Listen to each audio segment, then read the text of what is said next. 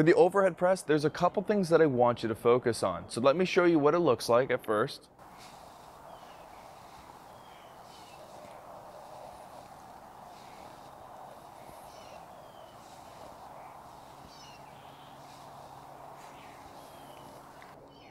Now, let's say that you are dealing with shoulder issues. Something that I would like for you to try to do is bring your elbows in closer to the body. The closer your elbows are to the body, the less likely your rotator cuff will have some type of symptoms.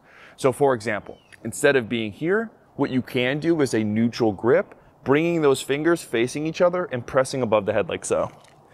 This generally allows people that have rotator cuff issues to still perform the movement, still build strength throughout that shoulder without getting any symptoms.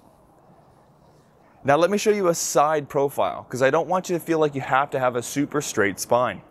So being in this position, having your chest slightly arc up to the sky is actually advantageous. The reason why is you allow your chest to also help with the movement.